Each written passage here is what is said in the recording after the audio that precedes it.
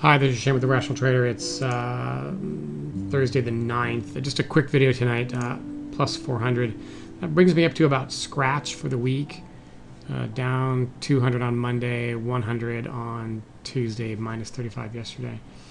Um, and it really brings up kind of the point of what I want to talk about tonight is that the the markets are they're weird right now. They're they're they're the volatility is changing. It's still this is still really volatile. This is the average daily range here. When you're above 100 points, it's it's the predictability goes way down. Uh, we had fallen through. It kind of looks here, you know, like we're we're going back to normal, but then you know stuff happens. Here again, it looks like we're going back to normal. Um, so I'm running a, a, model that's tuned for volatility, which means it, it's more careful. Um, there's more noise in the market when it's more volatile, so it's harder to separate the signal from the noise. Um, but it, it, the actual behavior of the market is weird. So overnight, we're seeing you know small ranges, which typically means it's going to be a quiet day. Um, and and yet when it trades, the market's trading, it'll be it'll be suddenly violent. So it's it's it's really an odd time right now. Um, and what I'm seeing as a result of that is that the difference between the two methods that I'm I'm using here. This is this is live over here on the right, and the left is adding a bunch of volume profile information to this to the system, and like today it was down three and three quarter points, um, but the, earlier in the week we were we I we were down like a point all week, and so it's the amplitude that's different like the, the markets are really weird right now. So in, instead of you know in the live account, you know minus 200, minus 100, uh, plus 400. In with the volume profile, what I'm seeing is that you know those those swings are less severe. Um, so I think that's interesting. Way if we go and we look at this, you can see that what what I've been, we've been talking about in the room is the uh, looking at, at the locations where we're going to make predictions uh, from the machine learning system. And so those are the orange bars. All right, so just very quickly, this is the value area high. This is the value area, obviously this is the point of control where most of the trading has occurred. That's the value area low. So we want to stay away from the point of control. That's we, we want places where the market's going to um, you know blow through or bounce bounce out.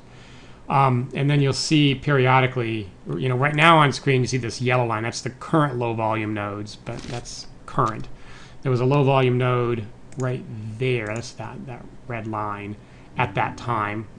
Uh, it happens to coincide with the value area high. So we're interested in looking at uh, places to enter where there are low volume nodes, like right there, or we're at the edges of the value area. All right, and so when we look at this, I, what I see, I really like. You know, this is exactly the right place to be looking. Okay, you know, make predictions. Give me a prediction on what to do here. Uh, the same thing here, you know, you pull back to the value area low, there's an orange bar there. As you're breaking out of the value area. Um, actually really like this as well, where you, you, you break out, then you pull back. And so here, you know, the market's got to make a decision. I'm at the edge of the value area. Either I'm going to go back down and visit the point of control, which is what happened, or we're going to continue higher. Um, this is exactly the right place to be uh, to be looking. Today was a little interesting in the point of control sort of acted as support, which is a, a little unusual. Normally we're kind of rotating around that until we break break out of it.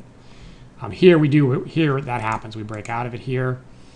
So what I really I like this right here. As we get close to the value area, we start making predictions. Again, we're we're really extra cautious because of the volatility. So the signal to noise ratio is is um, not as favorable. So we're, we're, we're more careful. But what I like about this is make predictions in here. And then you know, if you get the long prediction, you're in the market and at scratch or close to it when you get to this break level. So I'd much rather be in the market when you hit that break level than be actually entering on the break. I also like this, you know, you pull back into here and um, orange bars means make a prediction. Uh, we'd want to get we want a long here as it as it as it happens. Um, and then you you know you break higher. This is this just looks beautiful to me here. Here that's a nice pullback to get long. The system actually calls for a long right there. End up uh, taking a five tick loss, and then immediately get short for a five point gain and a point and a quarter gain. Now, one of the things we talked about in the room was that this is very hard for a human to do. You know, you get long, take a loss, and immediately get short. And here, it's exactly what needs to be done, right? And so, um, as you know, we're our, our, we're trailing a little too tight to catch the nice move down. Um, but this is exactly what we you sort of expect the market to do this, right? Get to the value area high, and now it's it's got to make that same decision as it made earlier. Are we gonna are we gonna are we gonna hold and break higher or go lower? It certainly looks like it's going lower, and then of course we get a, a nice pullback, and I actually short the machine shorts it right there. Uh, end up taking a five tick loss there, and then the order flow, it, the machine sees the short here. It's just a little, it's a little too volatile. I get stopped right there, just by a few ticks before that nice fall comes. Um, but you can see what happened is we got away from the, we got away from the point of control, which is right here, back up to the value area. There was a low volume node right there also. So we started making predictions there. So I like what I'm seeing here. Um, that's all before nine o'clock. Um, predictions up here. This is again, this is this is exactly the place I want to be looking. You can see that's just the, the, the, right turn. Um, here you're breaking out of the value area. This is interesting down here. That's 274, which says get short. So it sees that short. We consider that too aggressive of a trade, and you can kind of see why.